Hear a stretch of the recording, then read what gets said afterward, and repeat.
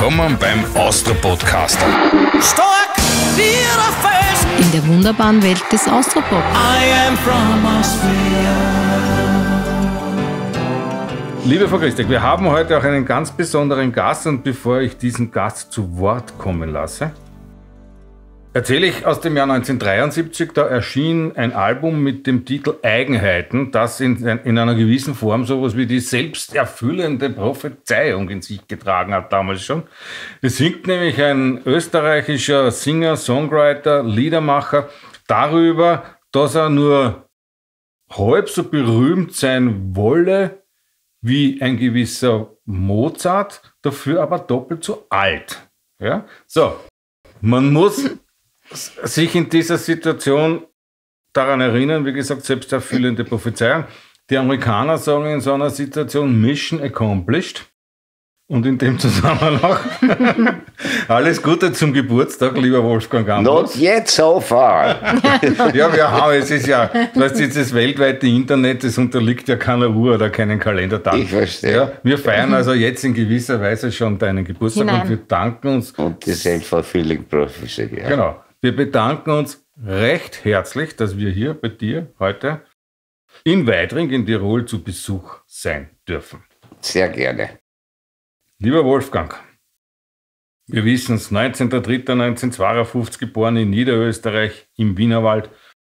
Und heute unter anderem, wenn wir das ganze Musikalische weglassen, Botschafter Tirols und Ehrenskilehrer. Das ist doch auch was. Ich meine, so viele tausende Platten verkauft, aber wer ist schon Ehrenskilehrer? Ja, da bin ich schon noch mehr. Ich bin zum Beispiel, was weiß ich, ich habe einmal ein Wettkochen gewonnen. Das, da ging es um Kartoffeln, war ich der Kartoffelkönig. Oder auch, was weiß ich, äh, war ich irgendwann einmal Dritter beim Einstockschießen in Treuenweidring. Also das war Cool. äh, der, der, der erste Zugraste, der das je, also je aufs Stock geschafft hat und so weiter. Also da gibt es doch etliches mehr. Es gibt ja eine gewisse nahe Beziehung zum Skisport von dir, das weiß man. Also du hast ja auch die heimliche österreichische Nationalhymne dazu komponiert, Richtig? die sich ja heute noch immer bei jedem Après-Skifest und nicht nur dort übers Land erstreckt. Oh, Skifahren. Skifahren ist das Leibendste, was man sich nur vorstellt. Ah. Aber trotzdem, warum genau hierher nach Weitring? Es war einmal ein, ich glaube, es war ein Freitag, ja. Da hat mich mein Freund Prokopetz angerufen und hat zu mir gesagt, komm doch nach Weitering. Das war so mittags herum. Sag ich, was ist Weitering?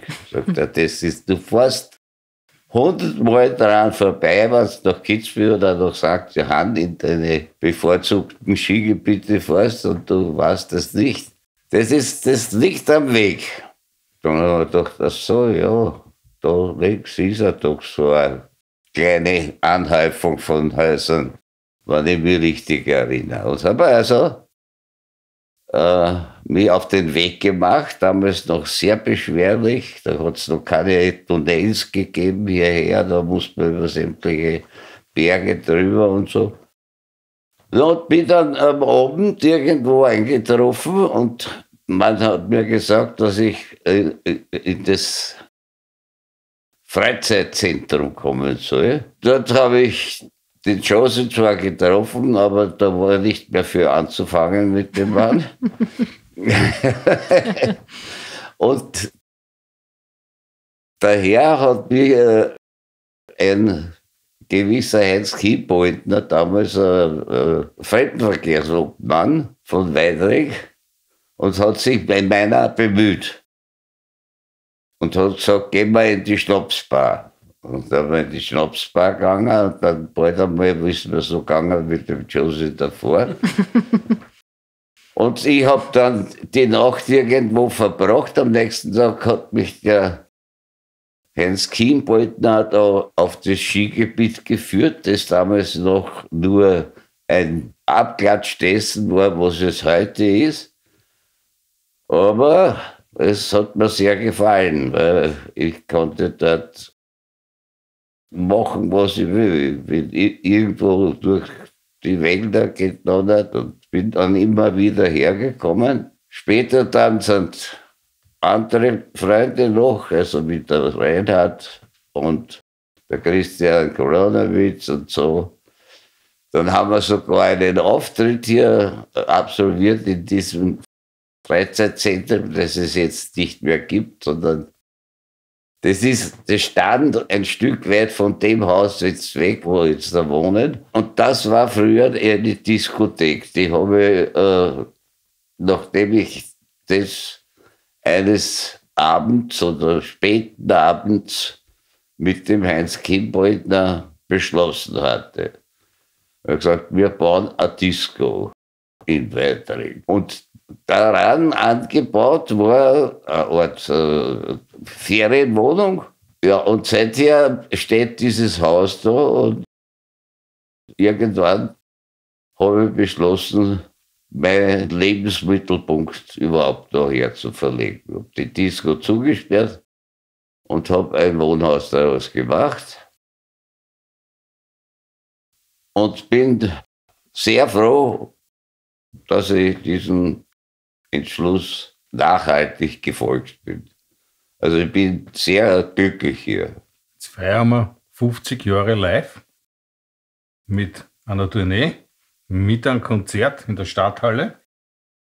Das ist verbunden mit einem runden Geburtstag, ja, mit so ein paar Jahrzehnte aufgelaufen sind. Naja, wenn man weiß, dass Ja. der Mozart 35 Ja. geworden ist, dann weiß man das dann auch. Aber da muss ich gleich einhaken.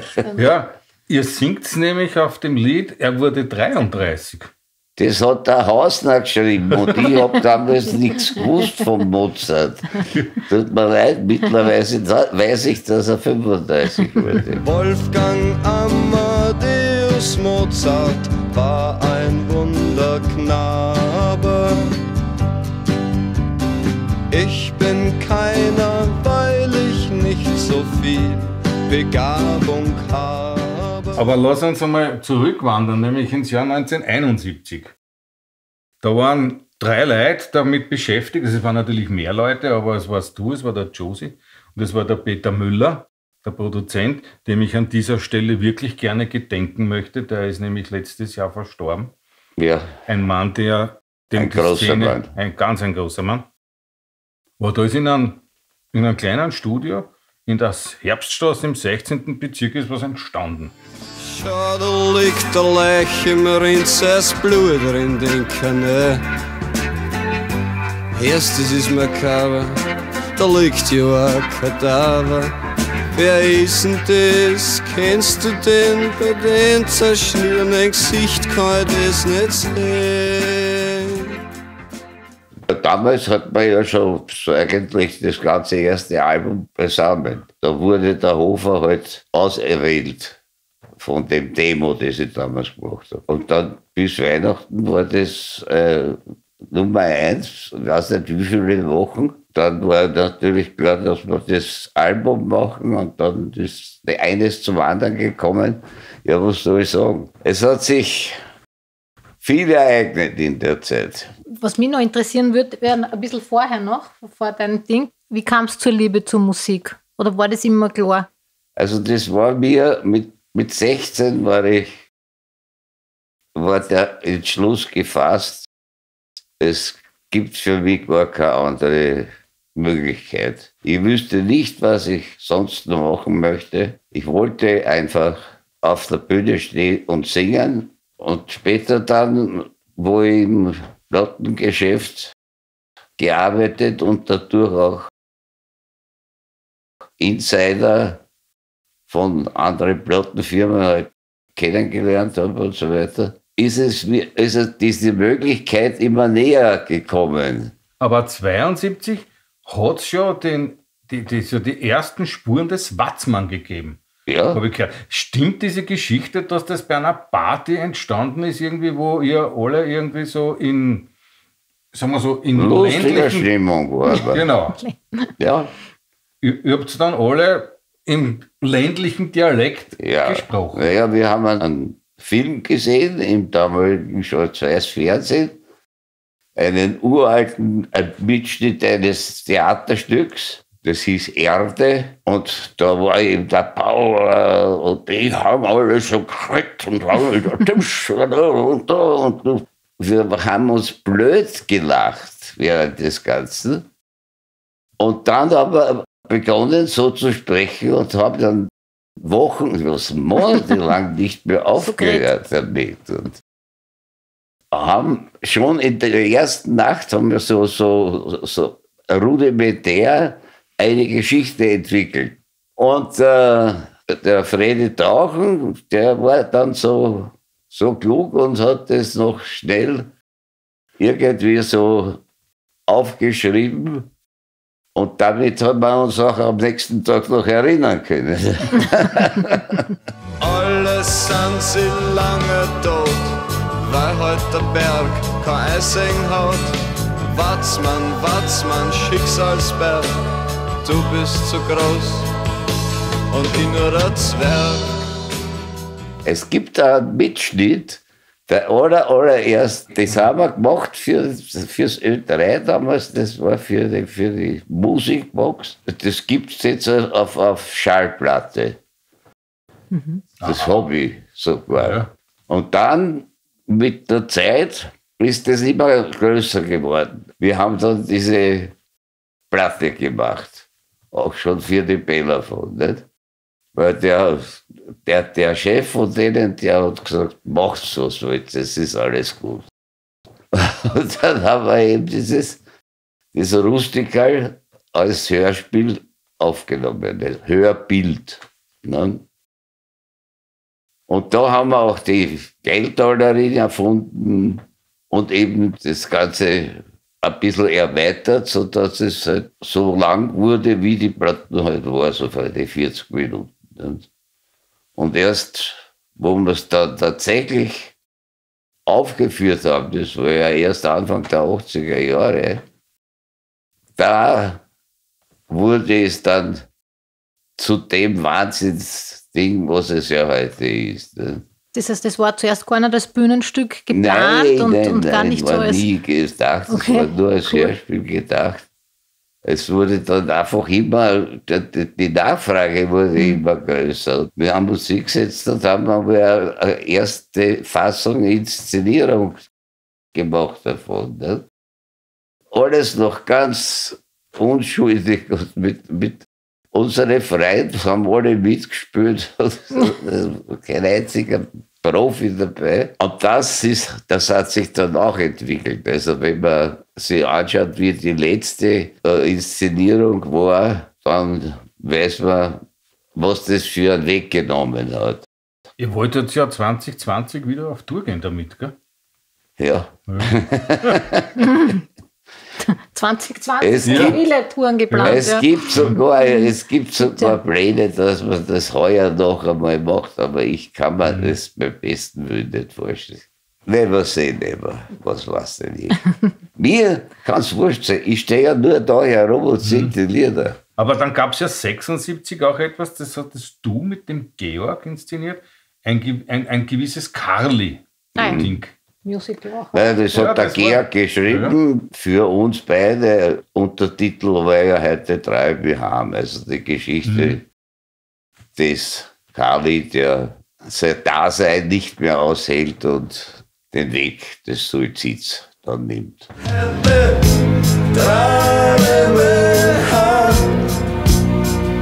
Schnellt man Puls oder noch Liegen warmen Wasser drin Aber zu dem Harm dran habe ich eine super Geschichte. Ich komme ja ursprünglich aus der Steiermark und mit 16 habe ich meinen ersten Freund kennengelernt, der war Wiener. Der war so ein Sommerfrischler halt, der nur am Wochenende rausgekommen Ja. ist. Und das war in einem Gasthaus, was eine Musicbox gegeben hat. Und er hat dort immer gespielt, ein Gulasch und ein Seidelbier. Und hat mir dann eine Wolfgang Ambros Kassette geschenkt. Und ich war natürlich sehr verliebt in den Freund. äh, und in alles Wienerische und war natürlich ab dem Zeitpunkt Wolfgang Ambros-Fan. Und Sehr dann, schön zu hören. dann wollte ich mich ein bisschen einschleimen. Der ist immer nur am Wochenende kommen und unter der Woche habe ich fleißig gehört und geübt und wollte dann so tun, als würde ich auch schon wienerisch reden können mit ihm. Und wie wir uns dann mal verabschiedet haben und nach dem ersten Kuss sage ich jetzt, haben wir gedacht, ich rede jetzt auch schon ein bisschen wienerisch und sage, du Papa, ich trau mich jetzt heim. Weil ich glaubt habe, das heißt, man sagt in Wien, wenn man heimgeht. Ne? Ich meine, Er hat gefragt, ob er mich begleiten soll. ja, Habe ich was falsch gemacht? Sicherheitshalber. Aber wir sind nach wie vor gut befreundet. Also, aber naja, aber ich würde froh sein, dass du es nicht wahrgemacht hast. genau. Du hast Aber- Eigenheiten. Ja, da haben wir ja gesagt, das ist so das Album der selbsterfüllenden Prophezeiung. Hast du einen Titel, der da heißt, mir geht es wie dem Jesus, mir tut das Kreuz so weh. Ja. Ich darf jetzt Jahrzehnte später die Frage stellen, wie geht's dir heute? Ist das besser geworden? Den Kreuz meinst du? Ja. Ja, weil das hat er ja damals offensichtlich, muss es muss ja einen Grund geben haben, und warum du es so geschrieben hast, oder war das ein... ein Nein, nein, damals hat man nichts nicht. Das, das, das war das was, 73, Ja, was heißt, ja. Nein, da hat man nichts weiter. Und es hat noch lange nichts wehgetan. Es hat noch bis, bis 60 eigentlich nicht- nichts wehgetan. Aber dann, dann hat es halt angefangen. Und dann habe ich feststellen müssen, dass äh, eine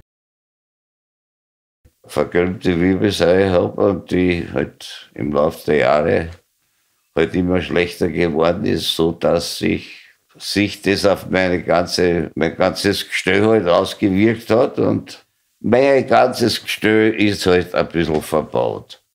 Es hat mich 60 Jahre nicht wirklich gestört, danach halt allerdings sehr, bis vor zwei Jahren, da hat mich ein Spezialist für Wirbelsäulen noch einmal operiert und der hat es dann hingebracht, dass er mich halt so wieder aufrichtet, dass ich wenigstens halbwegs gerade stehen kann und relativ normal mich fortbewegen.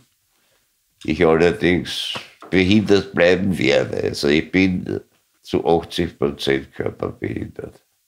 Aber sind Schmerzen noch da? Oder? Nein, die Schmerzen sind Gott sei Dank da- durch diese neuerliche Operation weg. Super, sehr gut. Ja, die, das ist schon sehr. Weißt du, was mich bei dir immer so fasziniert hat?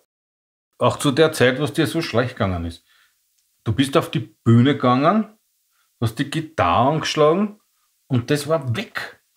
Es war fürs Publikum, also auch wenn ich da unten gestanden bin, das war weg. Verstehst da, Ja, da- gut, ansonsten wie- hätte ich mich ja nicht auf der Bühne stellen brauchen. Ja, das weiß ich schon, aber trotzdem sagt man ja, ich meine ja, wenn man im Publikum, wenn man was- sieht und was hört, merkt man doch, hoppala, der- dem geht's nicht so gut. Aber das war Wahnsinn, auch wie du da bei der Steffi gestanden bist, äh, bei der Steffi ein Stadthallenkonzert und der Kolonowitz hat den Zentralfriedhof eingeläutet und dann hast du angefangen zum Singen.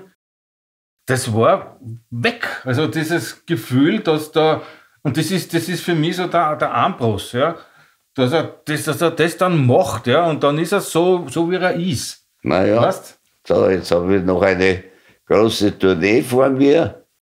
Also, äh, ich muss das schaffen, verstehst du? Ich kann mich nicht vor irgendwelchen Leuten hinstellen und dann sagen, oh weh, mir tut das weh, seid zwar nicht besser, wenn ich mich versinge oder wenn ich irgendwas Plätzchen mache.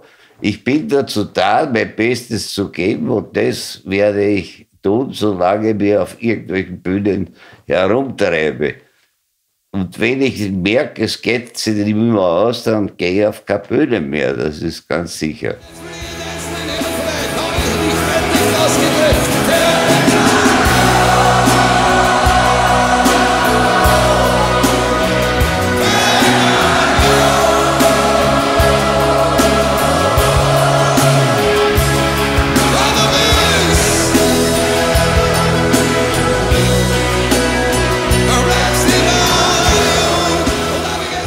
Also ich war letztes Jahr, ich glaube letztes Jahr auf zwei Konzerten äh, beim Zentralfriedhof. Das war beim, eine Wucht. beim Nachklang. Und das muss ich sagen, ich, ich gehe wirklich ganz viel auf Konzerte und das war wirklich eines der berührendsten und großartigsten Konzerte, das ich je erlebt habe. Weil allein in dem konzertlosen Zeitraum vorher Ja, ja. und dann gab es auf einmal ein Konzert mit 10.000 Menschen. Ja, ja, es war ein Wahnsinn. Das war wie wenn es in einer anderen Welt wäre. Oder, gell? Ja, und die Kulisse. Für uns auch. Es lebe der Zentralfriedhof und alle seine Toten. Der Eintritt ist für Lebende, hat ausnahmslos verboten. 2006 hast du das Album Stegout veröffentlicht. Ja? Das ist ja auch wieder, wenn man jetzt so will, ja, wenn man was hineingeheimnissen will, vielleicht auch wieder mit deiner Wirbelsäule, weil 2014 hast du zu mir gesagt, ich hatte ein Rückgrat wie die Streif. Das wird ja 2006 nicht viel anders gewesen sein. Da habe ich das vielleicht schon geahnt, Ja. aber, aber nicht wahrgenommen. Aber da Nicht- ist ein Röntgenbild am Cover. Ja? Ja, Jahre, ne? aber das ist das Röntgenbild von dem Arzt, den ich angerufen habe und sage, "Bra, ganz ein großes Kreuz. und da hat er mir sein eigenes geschickt. Ja. Steh grad und schau nach vorn, denn der Zeit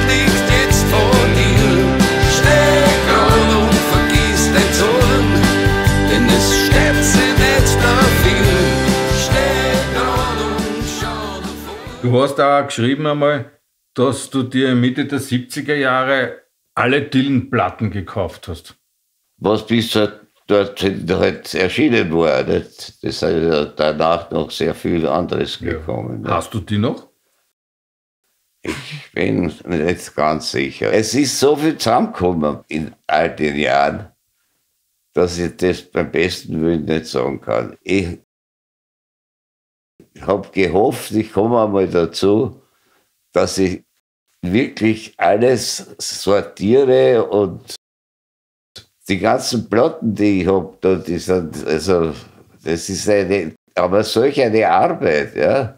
Ich bräuchte jemanden, der, der ein Sortiergenie ist, jemanden, der das von mir aus auch professionell macht, bin bereit, was zu bezahlen dafür. Wir machen einen. Aufruf. Ein, ein Praktikant, Ferialpraktikant oder so. Ja, also aber der muss, der muss wissen, wie man das angeht. Und ich, möchte, ja- ich möchte zum Beispiel die Schallplatten möchte ich ja nicht noch äh, irgendwie ein Alphabet oder sowas, sondern ich möchte es noch Genre zusammenstellen, ja. Nach Genre und nach, nach, nach Zeiträumen. Wir leiten den Kontakt weiter. Bitte Ja. beim Austro-Podcastel melden. Genau. So, 19, ich gehe nochmal zurück. Ja. 1980 habt ihr so die ersten Ausarbeitungen für den Augustin gemacht. Ja. mhm. Wie, wie ist es dazu gekommen? Weil die ersten Lieder sind ja erst 96 erschienen. Nicht? Auf äh, das Spiel vom lieben Augustin. Und Nein, na? das ist nicht dasselbe. Oh, dann bitte. Lass uns hören. Naja, das ist eine, Ja. eine Geschichte. Der Augustin, unser Augustin, ja, der, der, der war die dritte von diesem Trio von Hörbildern, die, die entstanden sind. Also der gehört auch zum Watzmann und zum Schaffnerlust dazu.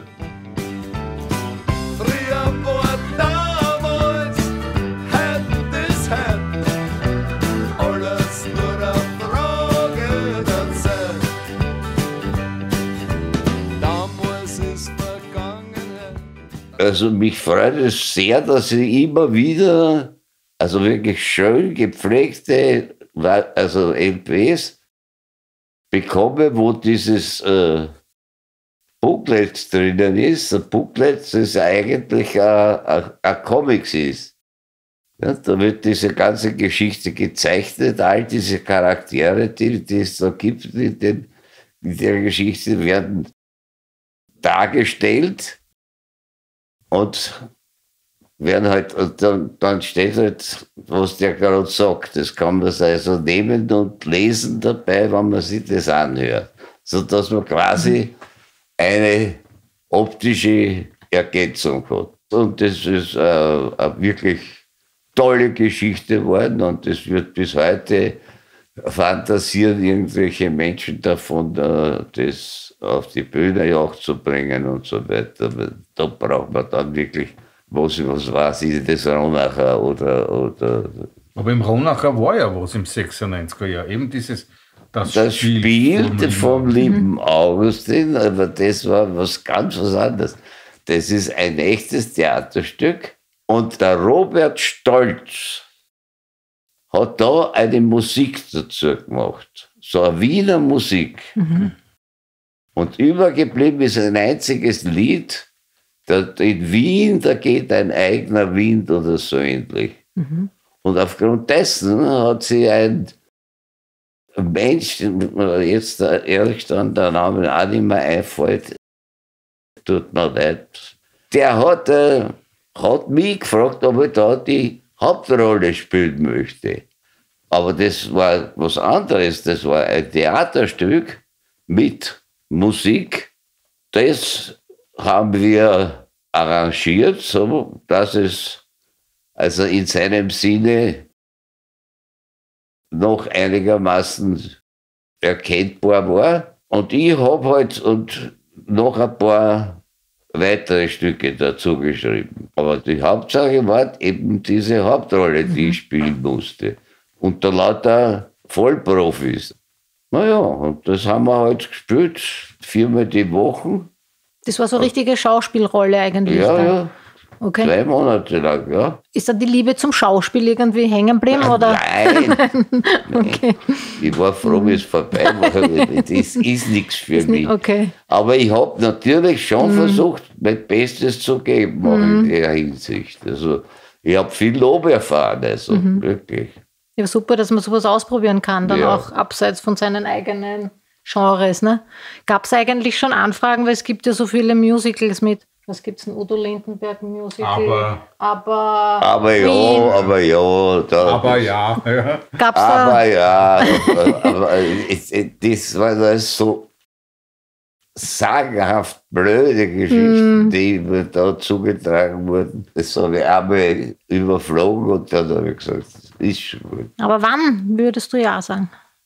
da war das irgendwas, was, was mit Hirn mhm. und Herz und so, dass ich, dass, dass ich mich da irgendwie ein bisschen wiedererkenne oder mhm. nicht, nicht mich wiedererkenne, aber mir da was vorstellen kann darunter. Mhm. So wie die, die Abergeschichte ist ja genial einfach. Und dass das natürlich immer mehr Nachahmer findet, ist auch klar. Mhm. Ja. Und der Udo Jürgens, der eignet sich dafür. Und wie man gesehen hat, der Reinhard eignet sich dafür. Aber ich, ich glaube, ich bin da nichts dafür. So, jetzt gehen wir mal von den Gedanken des Musicals weg. Deine Schaffensperioden, die du hattest, ja, die haben schon jede einen eigenen Charakterzug gehabt, finde ich. Ja, du hast ja quasi auch als Teenager begonnen und hast auch Texte, die junge Menschen berühren. Ja, du warst zwar dann schon ein bisschen älter, aber wie hört das auf? Wann, wann hört das auf? Wie wird das weitergehen und so weiter? Die haben ja Menschen auch durch die Pubertät getragen, nicht wenige. Aber dann durch diese Singspiele, viel später dann auch äh, die Dillendinger. 78 ja. habe ich den Diller gemacht und von da weg ist es eigentlich erst richtig losgegangen. Trotzdem, es waren immer so, so, so, so, so Perioden. Da war dann das, die zwei Moser-Alben beispielsweise, die ja großartig waren. Oder Ambros symphonisch. Ja? Das sind ja alles Dinge, die ja für sich stehen. Und jedes aber trotzdem mit nichts vergleichbar war. Und der Wetz ja. ist da keine Erwähnung wert. Oder? Aber ich habe ihn hier am Zettel, aber du bist mir wieder vorangesprungen. Ja? Na, der ist ja vorher passiert. Also, ja, ich habe jetzt ein bisschen die Jahrzehnte durcheinander gewürfelt. Das ist schon richtig. Das kann schon passieren. Und wir tanzen an Wolzen mit der Mathilde. Wir tanzen mit und da mit dir. Ich hab sie geküsst und ich hab es gebüßt. Du hast aber das 20. Jahrhundert beendet auch mit einem Album mit einem charakteristischen Titel, wo ich sehe, wo ich meine, Wum Wum Vanilla Kamera. Mhm. Das waren drei Lokale, die in Wien, die offensichtlich doch viel mit deiner Person auch zu tun hatten. Ja, ja sicher. Das steht dann alles in dem Buch. Ja, Das- genau. Also ich habe die Biografie ja gelesen, die ist, glaube ich, Mhm. 2012 erschienen, oder? Dann habe ich mir gedacht, ich war ein richtig langweiliger Teenager im Vergleich. Die- Also ich glaube, die Zeiten waren früher wirklich wöder. Das waren sie, ja. Wahnsinn. Das war ganz klar, ja. Das war auf der einen Seite wurde versucht, die Jugend so, so klein zu halten wie nur möglich, Mhm. dass halt das, was die da in Amerika und in England aufführen, dass das nur ja nicht daher schwappt. Mhm. Nicht? So, das war natürlich eine, ein großes Anliegen auch der, der, der Politik. Da bin ich mir ganz sicher. Natürlich war so gut wie alles verboten. Also alles, was nicht ausdrücklich erlaubt war, war verboten.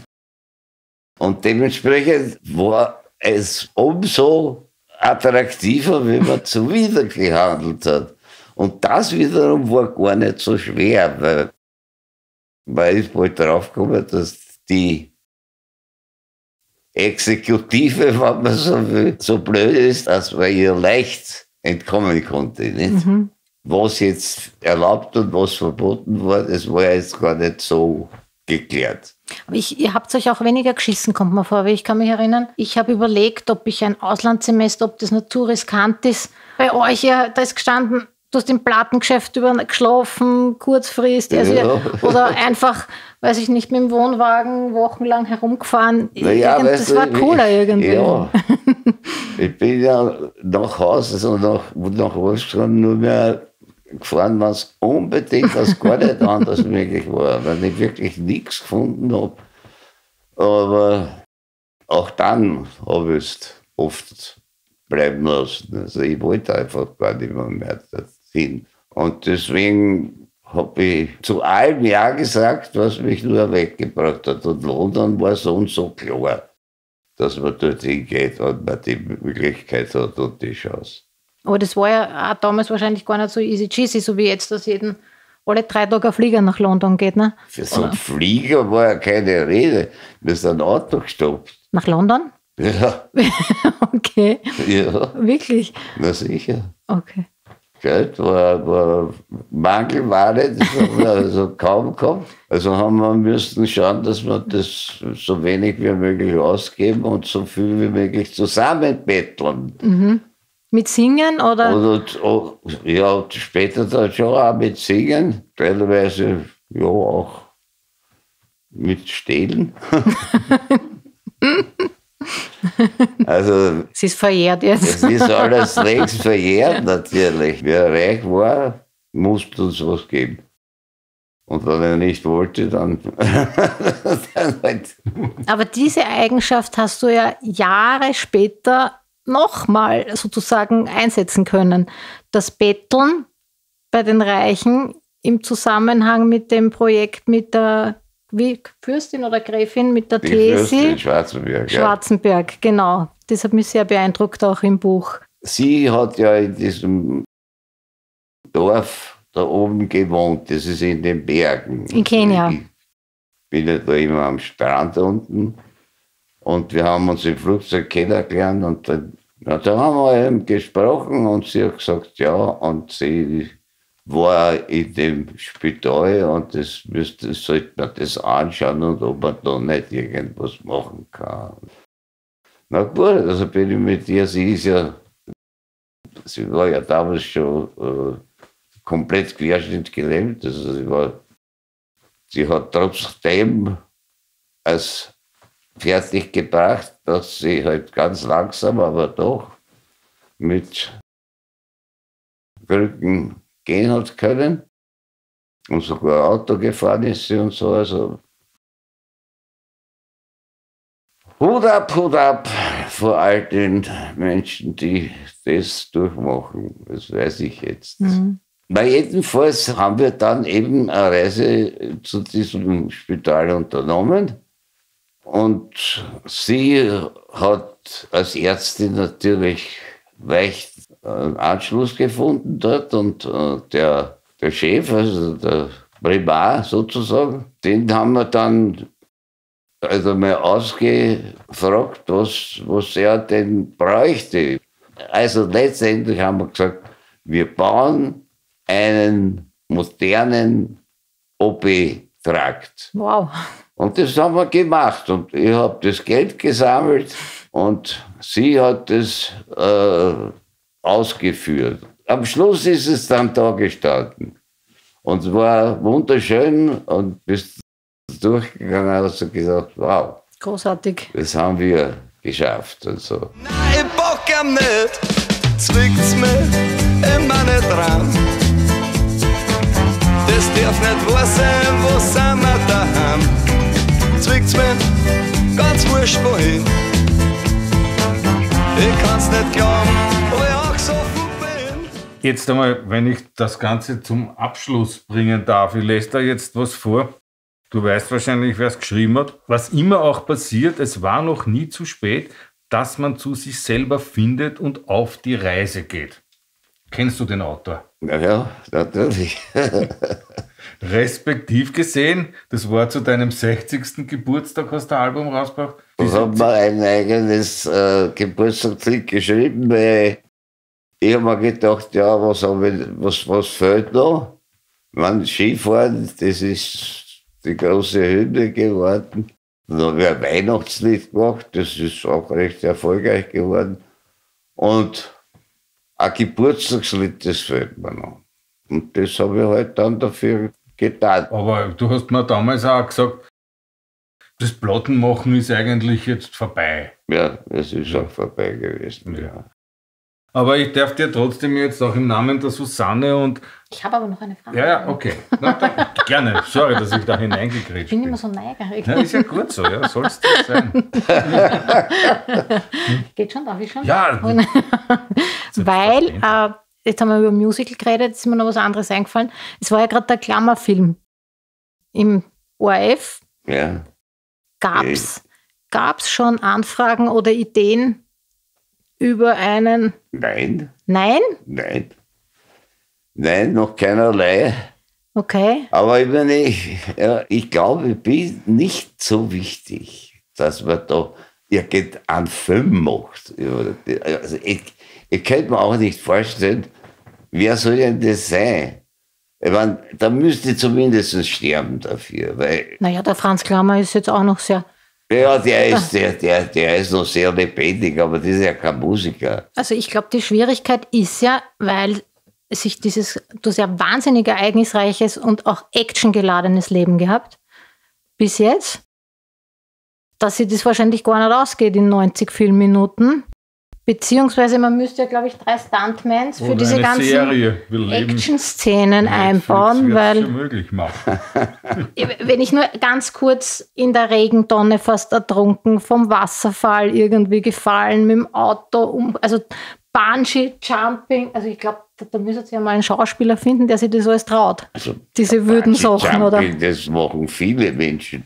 Na, ich, Und das, das, da passiert ja nichts. Du musst, du musst dich nur überwinden und dann den Moment halt einfach äh, springen. springen und dann bist du eh momentan irgendwo, bis du wieder zu dir kommst, dann bist du eh schon wieder oder fährst schon wieder in die Höhe. Dann möchtest du das gleich noch einmal machen. Nicht? Aber trotzdem muss ich dir da jetzt ganz deutlich widersprechen. Ich meine, das ist jetzt auch sehr, sehr offen meinerseits und ich glaube, ich spreche da für viele.